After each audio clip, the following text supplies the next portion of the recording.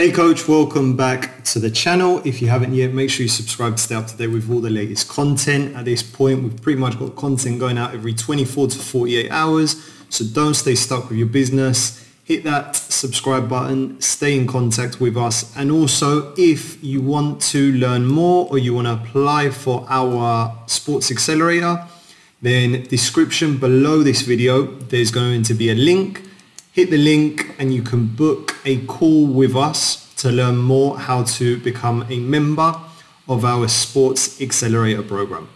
So today I want to talk about relationship building and brand awareness, right? So how to build relationships with your audience and how to build more brand awareness, okay?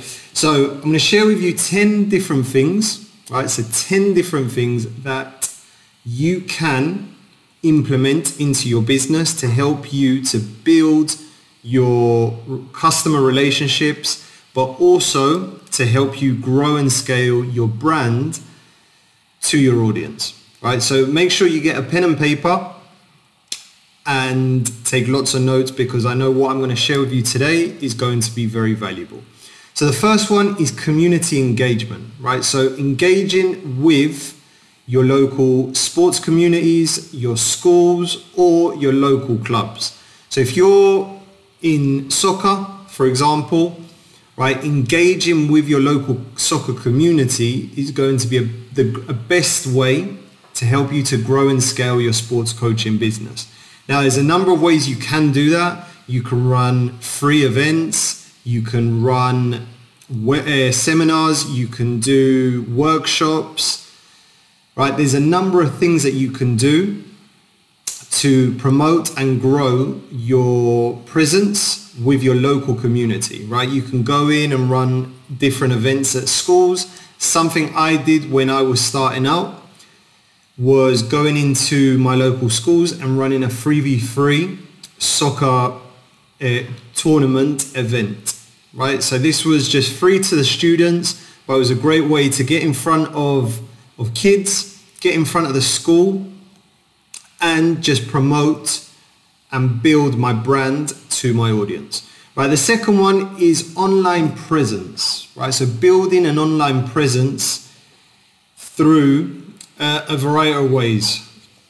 Through coaching, right? So you might use your Instagram page, for example, to promote coaching tips, coaching advice, uh, helping your audience on how to become a better player, how to build technical development, but also using your, your social media to share with your audience success stories, testimonials of parents that, that you've worked with, and sharing with them how you, you've taken a player from where they were at the beginning and through your coaching and expertise into where they are now.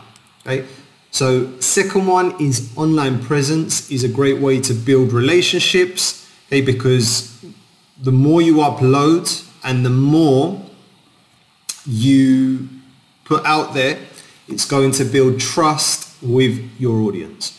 Right, next one is content marketing. So little bit similar to the second point, but content marketing is more to do with how can we now create uh, blogs, how can we create specific videos, how can we create maybe a, a podcast that talks about the certain struggles that your customers are having. So the, the last one was online presence. That's just maybe opening different social media accounts, sharing with them an insight into what you guys actually do. But this one is now content specific marketing. So if you're working with a specific type of athlete that is struggling with a specific type of problem, then you can create specific content marketing based around those struggles that those players are having. So if you know that you're working with players that are at the lower end ability level, but they want to get into maybe a club team or a travel team, then your content can be designed around how, how can those players go from a, a rec type of player into a travel or club player.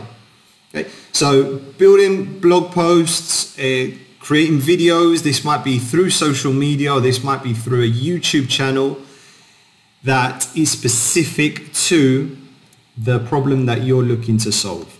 Right, the next one is networking right? So attending sports related events such as conferences, workshops to network with other professionals such as coaches in your field, right? Now, why do you need to do this, right? It's important to do this because the more networking you do, the more data you will grab. So if you start building relationships with coaches, with athletes, with sports organizations, uh, you start to explore different collaboration uh, partnerships then that can help not to only give you more data about the types of players or what struggles players are having in your local area but it can also expand your reach and your brand awareness to more people okay because if you come across someone that really likes what you're doing that really respects your work then what this can then turn into is potentially an opportunity to collaborate on maybe a clinic or a camp coming up. Right, the next one is client testimonials and referrals. I touched on very briefly, but for example, if you've got a website and a landing page where you're directing all your traffic to, on that landing page would be a great idea to have client testimonials and and success stories on there so that any parent that lands on your your landing page that is either looking to sign up to a clinic, a camp, one-on-one training, group training, they can sign up with the confidence that you are a results driven business. You are a business that gets results for players, the players that you work with.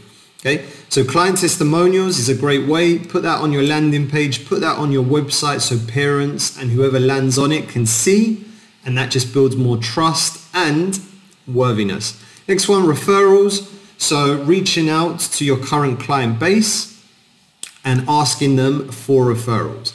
Now, there is a certain process to this. It's not a case of texting Mrs. Jones and saying, right, well, we want referrals. Okay.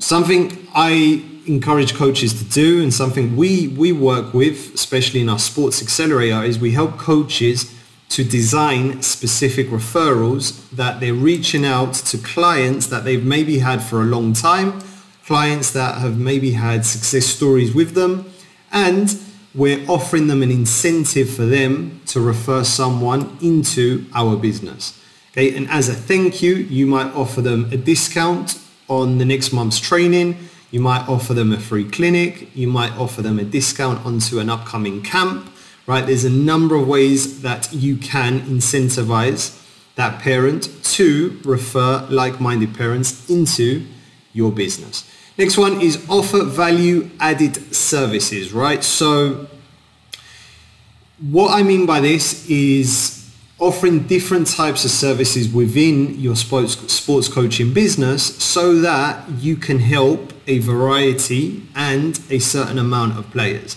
Okay, there might be some parents who reach out to you that can't attend your group training or they can't afford your one-on-one training. Okay, so you might have alternatives which are maybe more affordable or they work around the availability of your clients and these might be offering services such as online training, personalized training programs, right, or running workshops for skill specific development. Okay, so what I mean by this, you might do a workshop online that focuses on confidence, on how to get recruited to play at the college level. But on top of that, you might also run one-off workshops per month where players can attend and get coaching from you. Right? Something I did at the beginning of my business is I used to run these these these one hour clinics once a month, But what I used to do is I used to reach out to the parents that, that were already in my program and I used to ask them, when are you guys available? And based on the information I got, those were the days and times that I ran my clinic. The best thing to, to do that is also ask parents, okay, or set up again a referral program where your parents might get that clinic for free if they've been a committed client into your program, but with the condition they can only come for free if they bring a friend to you who registers for the clinic. Okay, that way, if you have 10 players that are supposed to attend your clinic and each player is bringing a friend, you've doubled that to now 20 players at your clinic. Okay, and that's an extra 10 people that you can promote and market your services to. Next one is sponsored and events, right? So sponsor local events, tournaments or teams to increase brand awareness and visibility within your community, right? Now this is something I would only recommend once your business has grown to the point where you can financially afford to be sponsoring certain events within your within your community. Now, a way to do this is again by offering free events to the local community, right? So you can offer workshops, you can offer 3v3 tournaments, as I mentioned, that was something I did to local schools, running camps for, for local clubs. So you can do this and at the same time, not only are you promoting your coaching, but you're also, you're also promoting your brand as well. Okay. But at the same time, once you grow and scale, you might want to sponsor a local non-profit program. So it might be a local rec program where you go in, you, you provide the coaching for them, and at the same time, you can promote your, your brand through the kids wearing shirts with your logo on it, for example, right? There's a number of ways that you can do this, but this is something I would recommend only and when you have grown and scaled to the point where you can do it. Right.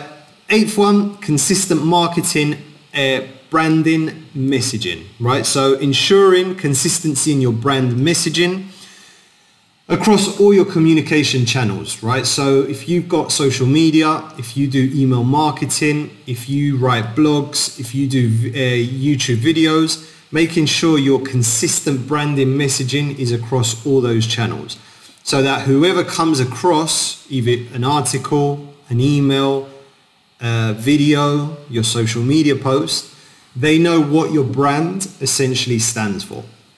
Okay, and just being very consistent. And it goes back to what I talked about, about knowing what problem you're solving for the athletes you're working with. Because if you're solving a specific problem for them, then what that does is if you are consistent in your branding, when parents have that problem with their child, they're going to search that on Google. And if though that you come up on Google, they are more likely to want to do business with you because they can relate to what your brand and messaging is. Right, the ninth one, feedback and continuous improvement. So feedback and continuous improvement just means reaching out to your current customer base and just asking them for feedback about your service. What can we do to improve? What have you enjoyed most about the coaching? And what is one thing that you would like to see coming up in the future? Okay, so just getting lots of feedback, getting lots of data so that you can continuously improve your business and achieve great results with your clients. Right, and the 10th one, partnerships with schools and sports organizations. Right, so building brand awareness means partnering up with local schools or sports organizations such as YMCAs, going in and running classes for them maybe in the evening, right, or running after school clubs at local schools.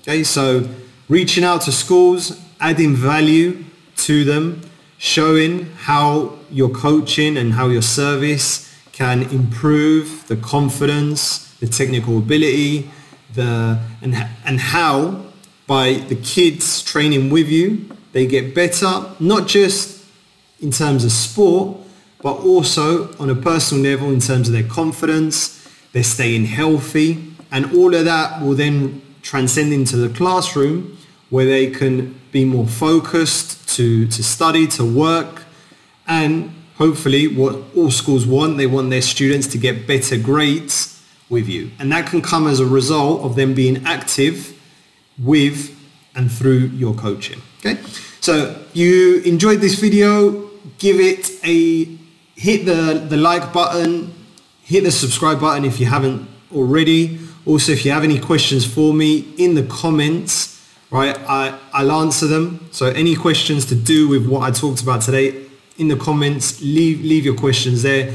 And if you want to apply to work with our company, then you can do that as well. Description, there's a link below. Hit the, hit the description and you'll be able to book a call with us to apply and become a member of our Sports Accelerator program. Okay, thank you for watching. I'll see you on the next one.